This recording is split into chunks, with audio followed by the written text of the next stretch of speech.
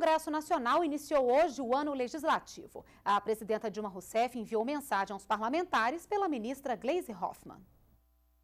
A sessão de abertura foi no plenário da Câmara dos Deputados. Os presidentes das duas casas do Congresso, o senador José Sarney e o deputado Marco Maia, participaram da solenidade. Durante a sessão, o primeiro secretário da mesa leu a mensagem enviada pela presidenta Dilma Rousseff.